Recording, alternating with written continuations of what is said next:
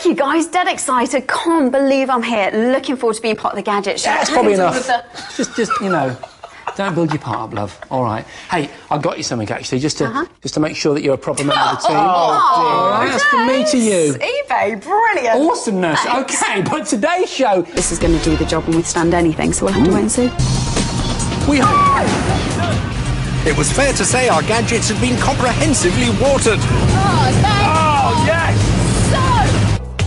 I was gutted. Neither of my phones would even switch on, despite both claiming to be water resistant. Do you know what? Nothing's happening. This week, we're giving away a weekend break to Monte Carlo for two people, and you'll be staying in Casino Square. But we commandeered two Sunseeker speedboats, and we get the gadgets a good drenching. Oh, yes. Out of my two phones and my watch, only the watch survived. Okay, I'm gonna test my Kodak. They're scratched. They're indestructible. Look, look. They're completely useless. We mounted a monumental tested to destruction challenge. You're going to miss us. The gadgets and my USB stick was still fully operational.